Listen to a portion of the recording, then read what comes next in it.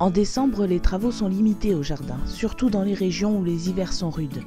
Protection contre le froid, plantation des arbres et arbustes, bouturage des arbustes, nettoyage du jardin sont les principales tâches à accomplir. Profitez-en pour réparer et nettoyer vos outils et accessoires de culture.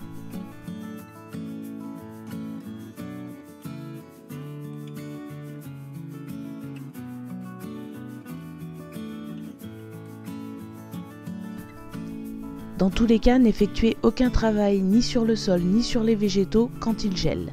Hors période de gel, c'est le moment pour planter des arbres et des arbustes, et notamment les arbres à racines nues qui pourront être plantés pendant tout l'hiver.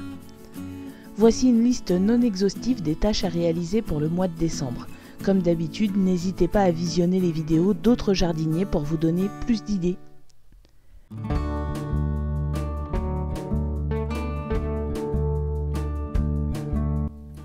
Profitez de cette période de repos pour procéder au nettoyage et à la révision des outils mécaniques, tondeuses, débroussailleuses, broyeurs de végétaux, tronçonneuses, etc.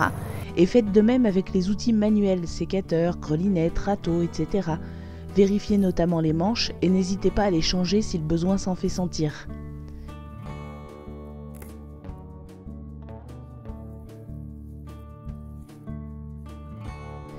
Continuez de nettoyer le potager au fur et à mesure des récoltes. Si c'est pas déjà fait, il est temps de retirer les restes de culture d'été comme les tomates, les courgettes, etc. Je fais pas partie de ceux qui pensent qu'il faut éloigner les déchets de culture malades, comme par exemple les pieds de tomates atteints de mildiou ou les pieds de courgettes atteints d'oïdium. Chez moi, tout est découpé grossièrement en morceaux et remis directement sur le sol en paillage. L'hiver, c'est aussi un bon moment pour apporter du fumier, du compost ou tout autre amendement organique. Continuez de récolter au fur et à mesure des besoins les légumes qui sont restés en terre.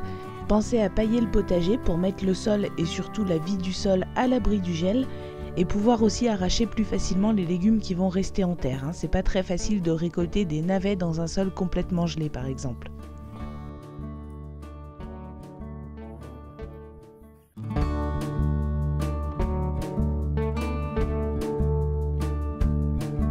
Sur les arbres et arbustes, on peut commencer par supprimer toutes les branches mortes ou malades. Planter les arbres et les arbustes à racines nues à partir de la Sainte-Catherine, donc le 25 novembre, et pendant tout l'hiver. Les arbres à racines nues présentent plusieurs avantages. Déjà, ils sont généralement moins chers que les arbustes en pose, ce qui n'est pas négligeable quand on veut planter beaucoup de sujets ou créer une haie, et leur reprise est souvent meilleure. D'autre part, c'est le principe, les arbres à racines nues n'ont pas de contenant en plastique, ce qui fait toujours utiliser moins de plastique. Si vous ne pouvez pas planter tout de suite les arbres à racines nues après l'achat, vous pouvez placer les plants en jauge dans du sable. Si vous avez décidé de déplacer un jeune arbre ou un arbuste, c'est aussi le bon moment.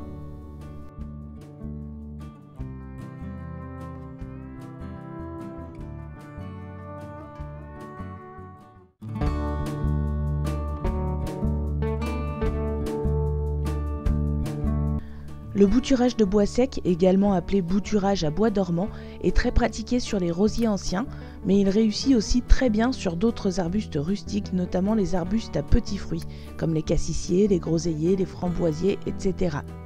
Il s'agit de prélever dans la partie médiane des morceaux d'environ 20 cm de long euh, sur des rameaux de l'année.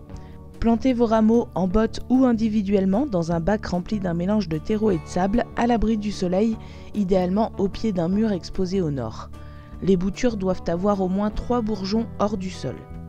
Au printemps, ces boutures seront plantées en pépinière ou en pot et la mise en place définitive aura lieu à l'automne suivant. Personnellement, pour les petits fruitiers qui se bouturent très facilement, euh, j'aime encore mieux placer directement les boutures en pot dans un mélange de terreau et de sable avant de les placer à l'extérieur dans un endroit abrité ou sous châssis ou serre froide. Et les boutures démarreront au printemps avec un excellent taux de réussite. Voilà, vous vous en doutez, euh, décembre c'est pas le mois le plus actif au jardin, au verger et au potager. Hein, ça fait donc pas une vidéo très chargée, très fournie, mais euh, il y a quand même quelques petites choses à faire. N'hésitez pas à regarder aussi la vidéo du mois de novembre, puisque la plupart des choses qui étaient valables en novembre euh, sont toujours valables en décembre.